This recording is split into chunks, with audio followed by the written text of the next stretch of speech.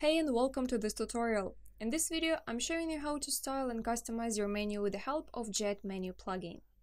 So, once you've got your menu structure ready and you want to proceed to styling and customizing it, first of all make sure that you have enabled Jet Menu for current location.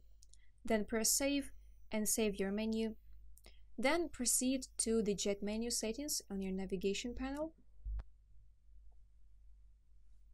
And here you're going to see some general jet menu settings that include the animation settings, the behavior, and the style settings as well.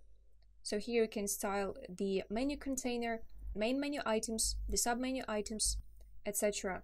Also the mobile menu, some advanced settings include the icon settings, badge and drop-down arrow settings, and also a presets manager where you can manage, save, update, and delete your style presets.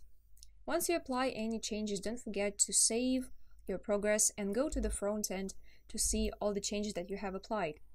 But if you're using Elementor Pro or Jet Theme Core plugin, you can also use Elementor Editor to style and customize your menu and see all the changes you apply in real time. So now I am in Elementor Editor and I go to Elements, scroll down and find the Mega Menu widget I'll drop it onto a new section and select the menu.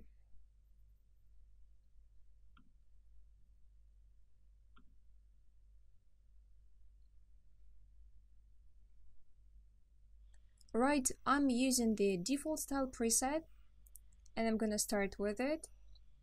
Now what we need to do is to click on the widget and go to style tab and we see all these same style settings that we've got in here on our dashboard in the jet menu settings. Let's start off with the menu container where you can choose the alignment of your items, the background type, the border radius, and some more settings. Now there go the main menu items settings, where you can change the color, some typography settings, and the behavior and style of your links on hover and in the normal and active state. So these were the settings for the main menu items. So for the items that your menu container has, and then only go to sub menu settings, you see the settings for a simple panel, which is a simple drop-down menu that contains a list of items, and the mega panel that includes the settings for the mega menu like this one.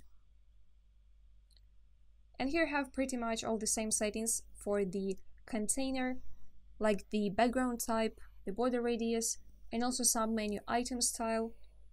You can tweak the look and the behavior of the items on normal, hover, and active states. And you've got all the same settings for the mega menu panel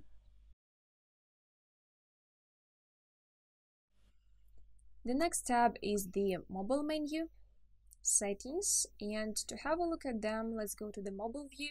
And as you see there is a little icon that opens up your menu when you click on it. Like that and what you can do here is to change the look of this little thing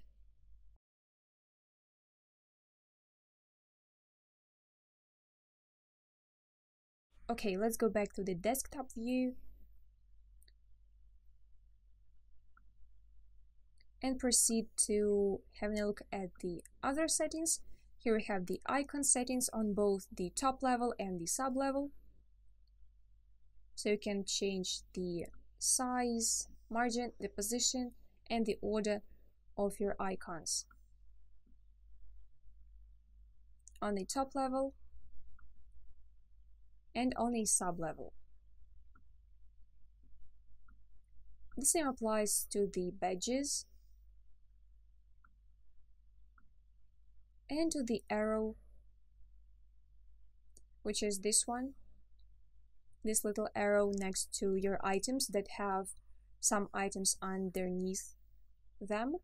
And that's pretty much it for the settings that you can apply to your menus with the help of Jet Menu plugin. Thank you for watching. If this video helped, leave us your thumbs up and subscribe to our channel.